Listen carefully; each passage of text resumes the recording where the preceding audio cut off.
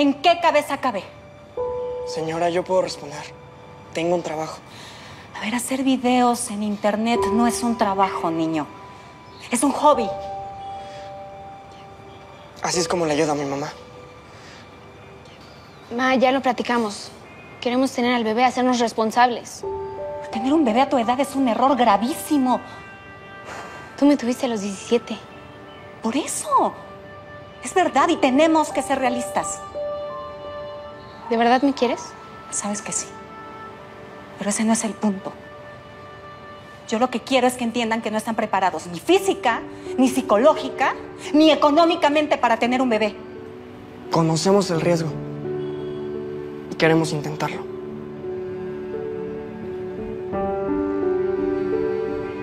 Es que no saben. Ese bebé se va a dar en adopción. Y punto.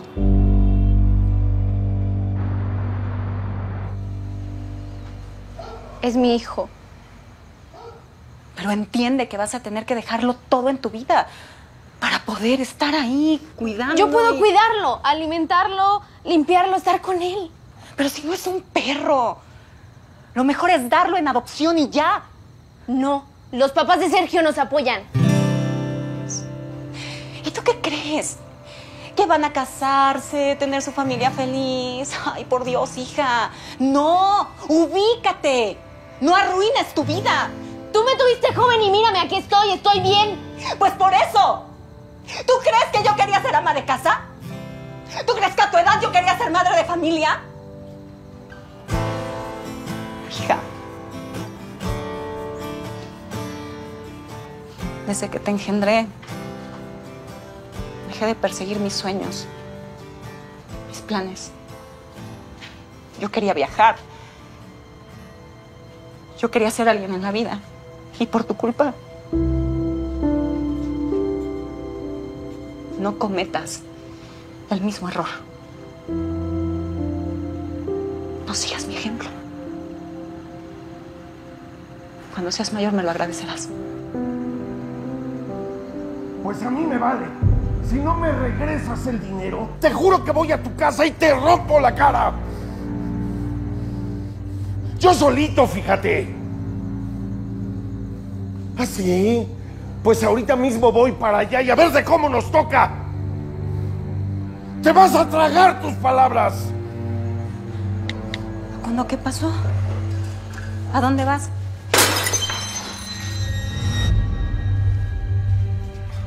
Voy a arreglar un asunto.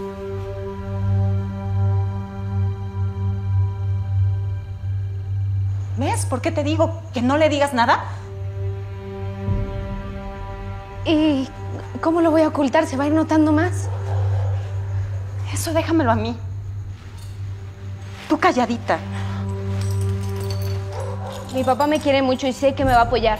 Ay, sí, claro. Nos va a apoyar, pero contra la pared. Nos puede sacar a patadas y a ti y a mí de esta casa. Y además, es capaz de ir a matar al muchachito ese, al, al padre de la criatura.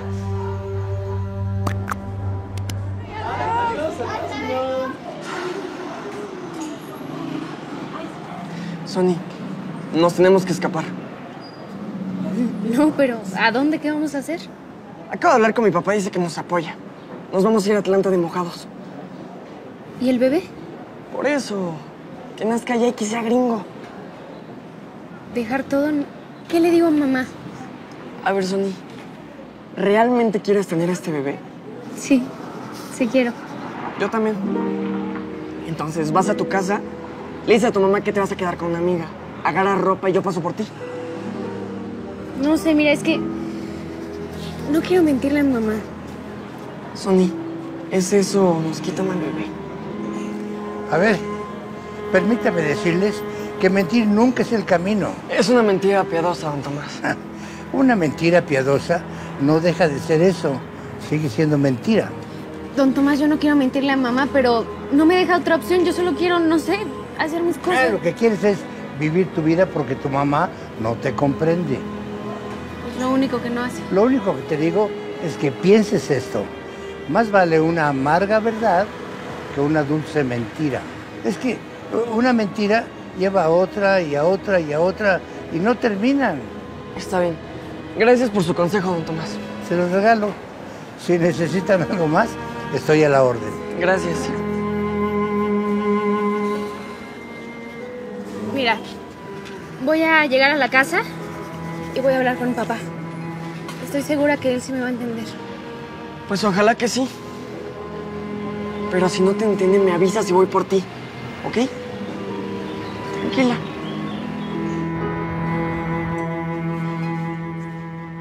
Pa, Ah, hola, mi amor, ¿cómo estás? bien, ¿tienes un momento? ¿Puedo hablar contigo? Mira, ahorita no es buen momento, mi cielo, sí, de verdad. Es que es algo urgente. Es que eh, tengo un problema muy grande en la plataforma, mi amor. Pero a ver, ¿qué necesitas? Pídele dinero a tu mamá, ¿sí? No, no, la nena no necesita nada, mi amor. Yo me encargo. Es que sucedió un problema en la plataforma, me adelantaron la salida y voy a estar seis meses ahí y no sé ni qué va a hacer. ¿Y cuándo te vas?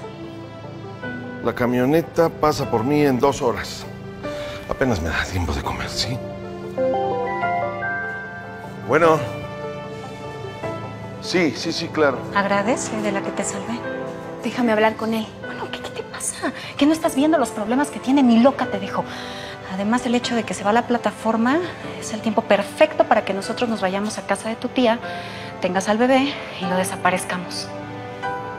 ¿Puedes dejar de decir las cosas así? Ay, bueno, que lo dejemos en el DIF.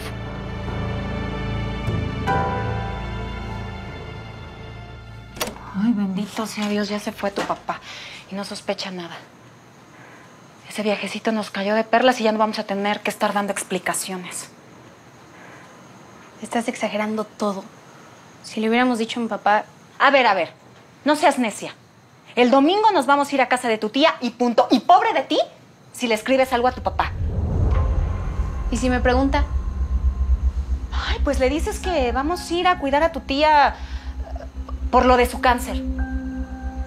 Mi tía no tiene cáncer. Pues le dices eso y ya. Más vale una amarga verdad que una dulce mentira. ¿Y eso qué es un dicho de don Tomás o qué? Sí.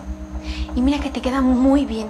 Porque me estás haciendo mentirle a mi papá y por cada mentira que dices agregas otra y otra y otra. Pues te aguantas, porque todo esto es gracias a tu chistecito.